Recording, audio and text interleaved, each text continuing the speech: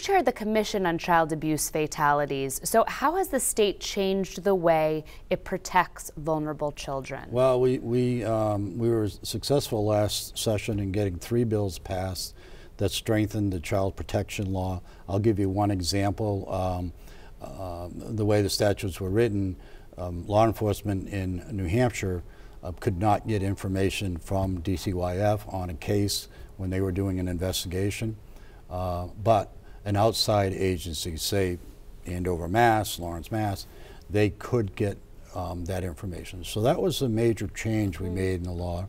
Additionally, we um, created um, immunity for medical personnel at hospitals. So when a, a, child was brought into the hospital, there were obvious signs of either broken bones, bruises, um, lacerations, whatever it might be. Mm -hmm.